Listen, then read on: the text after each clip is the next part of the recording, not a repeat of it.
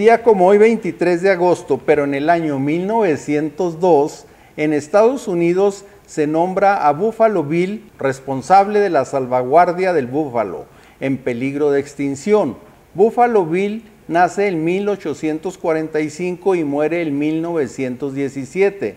Soldado estadounidense, cazador de búfalos y hombre de espectáculos, una de las figuras más pintorescas del viejo oeste. Ganó fama principalmente por los espectáculos que organizó y realizó sobre temas del viejo y lejano oeste. Buffalo Bill fue condecorado con la Medalla de Honor.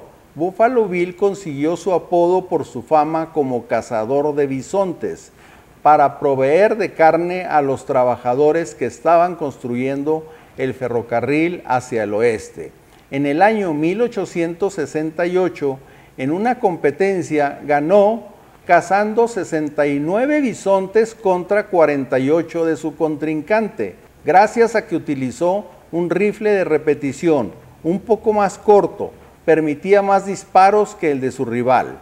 Buffalo Bill se convirtió al catolicismo y reconoció tardíamente que era un error eliminar una especie de la faz de la tierra. En contraste con su imagen estereotipada de hombre duro, Buffalo Bill impulsó los derechos de los indios norteamericanos y de las mujeres. En sus espectáculos los indios eran generalmente mostrados como malos al atacar diligencias y caravanas de carretas por los heroicos vaqueros y los soldados. Murió el 10 de enero de 1917. Con su muerte desapareció el último componente de intrépidos que conquistaron y civilizaron el oeste de los Estados Unidos de Norteamérica.